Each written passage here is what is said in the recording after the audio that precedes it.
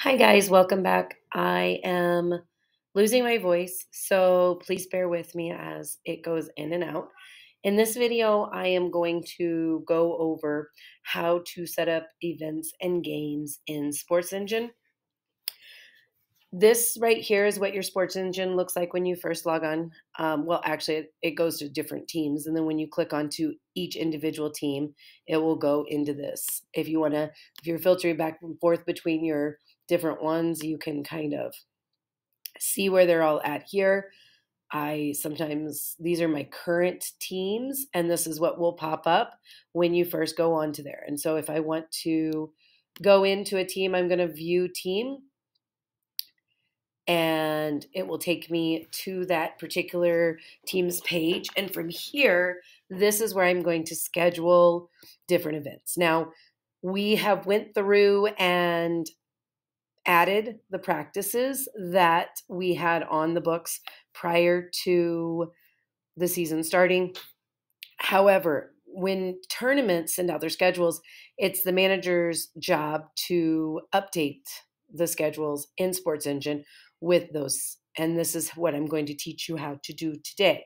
So let me just show you it. For instance, Border of the Battle, I go to their website and this is how I find my schedule. Some of them will email you the schedules, but some of them you'll have to actually go find the website.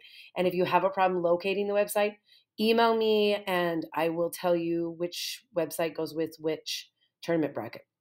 So the 2009 schedule is right here, and that is going to be the one that I would be looking at.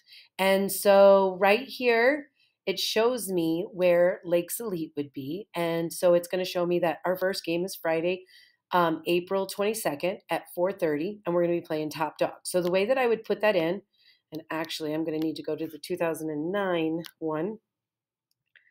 The way that I would put this in is if it's a practice or a scrimmage, I would push new event or training. If it's a game, I'm going to go new game. And then the way that I do this is is that you're going to type in your opponent. Now, if you've never had this opponent, it's going to be a new team. But for me, I've got lots of them in here that I've put in over the years. And so I can just start writing like the one, which is top dog, and then it's going to give it to me right there.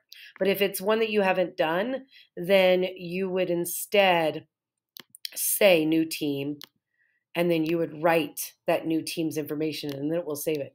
And then you're always going to be the home team, but even though you might not be in this in the um the tournament that's how you're going to put it.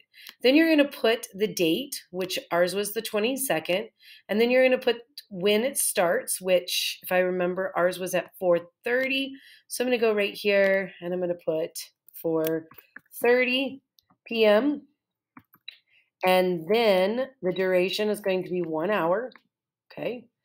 And that's central time. And then i always put the location because most of these tournaments have multiple buildings. So on the location, I always look and it looks like it's at St. Croix Rec and it's at the TCO North. So for me, I'm going to go back here and I'm going to put St. Croix and then there it is right there. And then I might put the TCO North as my facility detail. And um, if your coach wants you there 45 minutes early, you're going to put 45 minutes. And then if you know which uniform, uh, if you're home or away, otherwise just put to be to be determined. And then I would put in here, bring both jerseys as well as any other information you have. Then you push add game down here. I'm not going to because I've already got it in there. And then as you see, it comes up and there's all the game details and you'll be able to do who's coming by your RSVPs and so forth. And that is how you add a game or an event to your sports engine.